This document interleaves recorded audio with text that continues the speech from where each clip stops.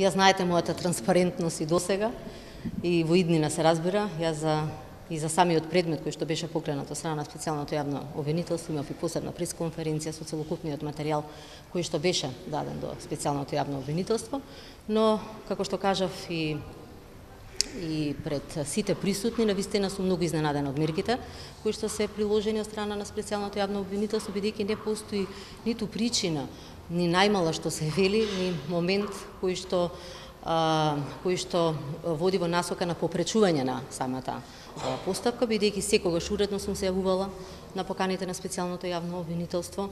Никогаш не се случило да некоја покана биде оправдана со некое моје патување и така натака. Секогаш представниците на специјалното јавно обвинителство биле примени лично од мене во мојот кабинет, додека сум ја вршела функцијата министер за култура. Јас лично сум ги примала, така да потоа биле проследени до соодветните надлежни нели раководители кои што ги бараат нели за некој си материјал. Уредно била доставувана целокупна документација и они кога побарали, кога имало некое нели, барање во рок, така да секогаш сум била присутна и а, секогаш сум одговарала на барањата на специјалното јавно обвинителство во однос нели на едниот фактор кој што беше посочен нели листингот на патувања. Јас донесов како што и кажа во самата шалба приложив и дадов целокупен материјал од сите оние мои патувања кои што сум ги вршила како министра за култура, подкрепени со покани од страна нели на самата организација, од страна на самиот колега министер за култура каде што сум одела во некоја држава каде што сме подпишувале програма за соработка или каде што сме имале некоја меѓународна конференција или промоција и така натака. Тука се уредно дадени сите покани, сите патни налози и плюс дадов уредно материјали прескриптнизи и од вестници, од медиуми и домашни странски, нели каде сето тоа било проследено. А, сето тоа сум го вршала во рамките на функцијата како министер и на вистина морам да истакнам и овде пред вас дека сум горда на сето она што успеав да го направам во насока на унапредување на културата во нашата држава, во насока на промоција на сето она што го имаме како култура, како уметност. А, и во изминатиот период, на вистина, во таа насока работев многу и целокупната таа документација ја доставив и на судот. Така да се надевам дека судот правилно ќе одлучи, сепак верувам во правната правниот систем на нашата држава и се надевам дека сето тоа ќе биде во моја корист. Само накратко ваш коментар околу укинувањето на титулата национален уметник во ваше време беше воведен.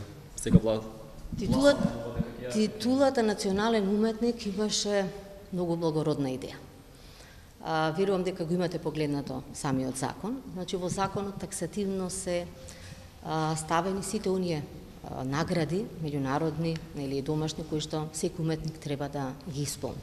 Идејата беше да бидат поставени таксативно сите за да нема никакво и политичко влијание и да секој кој да биде член во комисија, значи веднаш ќе може да направи евалуација, бидејќи сето тоа е таксативно дадено и веднаш ќе може да одлучи дали некој ги исполнува тие услови или не.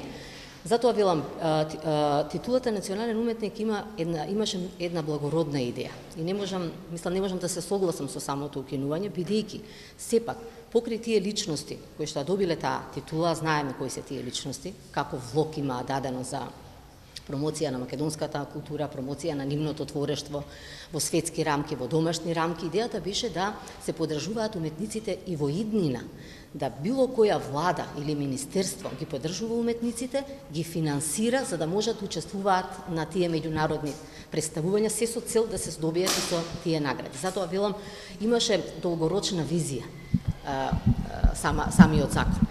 Значи да не да, да не се дозволи уметниците да не можат да отидат, дали нема потреба да конкурираат со проекти и така натака, туку напротив државата да ги поддржува, да учествуваат на тие меѓународни представувања, се со цел и да се здобијат со награда и се со цел нели да ја добијат таа висока награда. Така да самиот закон а, е многу позитивен и не знам од која причина и зошто сето тоа го, го прави владата и самото министерство, но верувајте дека негативностите ќе се осетат за многу брзо време. Ви благодарам.